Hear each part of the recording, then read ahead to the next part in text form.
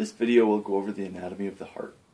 Before we begin, I do need to forewarn everybody that no, I did not go to art school. I did go into medicine, so my artwork may look a little off, but for our case, this should do. As you can tell, I labeled left and right in this image. Left is going to be on this side, right. The heart is going to face down towards the left hip. And, likewise, it's going to be situated a little more towards the left side. So now we're going to look at the route of the blood. Blood is going to go from the body, so the organs, the muscles, it's going to drain into the heart.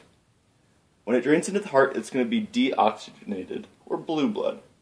So, it's going to go drain down into the IVC, which is the inferior vena cava, or up to the SVC, the superior vena cava. From there, blood is going to drain into the right atrium.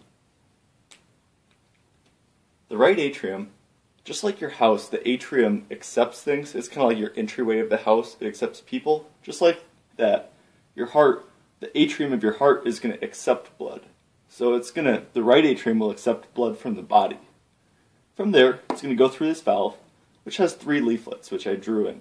That's going to be called the tricuspid valve. Tri for three. From there, it's going to go into the right ventricle, and the ventricle is going to be kind of the muscle of your heart. It's going to pump things. So your right ventricle will pump to the lungs. To get to the lungs, it's going to go through this valve called the pulmonic valve. Pulmonic is root for lungs, which is aptly named because the right ventricle pumps to the lungs. So it goes through the pulmonic valve into the pulmonic artery, which I'll label as PA. Your pulmonic artery splits off into left and right, and it's eventually going to get to the lungs, which will oxygenate the blood. So from there, the blood is going to be red.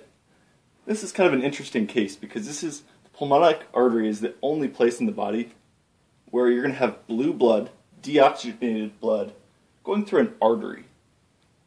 Um, so once the blood is oxygenated, it's going to go through the pulmonic vein, which I didn't draw in because that would get a little messy. But your pulmonic vein, veins typically in the rest of your body carry uh, deoxygenated blood, but in this case, it's going to carry red blood, so oxygenated blood. Um, your pulmonic veins will drain into your left side of your heart, so your left atrium, because your atrium accept, and then it's going to go in through another valve. This one has two leaflets, so it'll be called the bicuspid valve, or the mitral valve. Um, then, blood is going to go into your left ventricle, which is the main muscle of your heart your left ventricle has to pump into the rest of your body.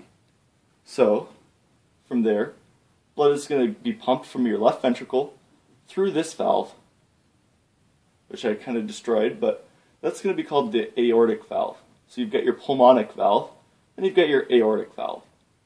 Your aortic valve will lead behind your pulmonic artery into this is your aorta. Your aorta is your biggest vessel in your body, and that's going to pump to your to your whole systemic side. So your organs, your muscles, your skin, your brain, everything, except for your lungs. Your lungs are handled by the left ventricle, uh, your right ventricle. Your left ventricle does everything else.